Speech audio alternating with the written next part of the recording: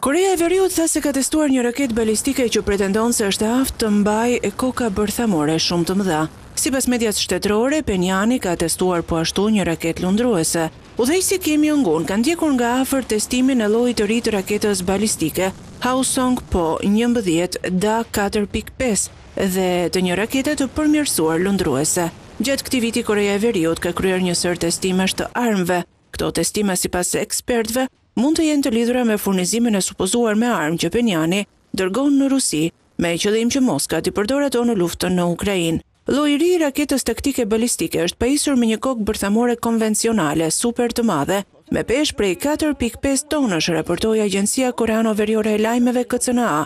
Veriu po ashtu kreu testimin e një rakete strategjike lundruese, performancat e së cilës janë përmirësuar shumë në mënyrë që ajo të përdoret në luftë, tha KCNA-ja. Ushtria e Koresë së Jugut ka thënë se veriu ka testuar një raketë balistike me rreze të shkurtër veprimi, e cila fluturoi për rreth katërqind kilometra në lindje të gadishullit korean. Testimi synonte verifikimin e saktësisë së goditjes në rreze të mesme prej treqind e njëzet kilometrash, me pajisje të fuqishme shpërthyese, Dhe me një kokë bërthamore shumë të madhe, tha KCNA. Kim tha se testime të tilla janë të nevojshme për gjendjen e sigurisë së vendit të tij. Situata ushtarake dhe politike në rajon është tregues se puna në forcimin e kapaciteteve ushtarake për vetëmbrojtje duhet të jetë çështje kryesore, tha ai.